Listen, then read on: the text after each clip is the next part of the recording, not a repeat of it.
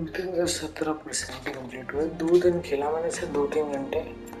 तब भी इतना ही हुआ। अमेजिंग में टाइम लग रहा है। स्पेक्टेकुलर में कितना टाइम लग जाएगा। स्पेक्टेकुलर जल्दी हो जाएगा फिर, क्योंकि हम खेल लिया। बस इतना ही बताना था।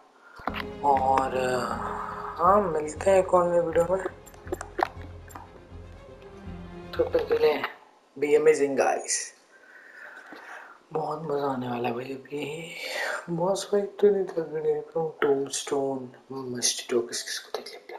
तक को देख लिया और बहुत लोग आने वाले शायद हेमराइड भी दिख जाए। तो देखेंगे, पर तब तक के लिए।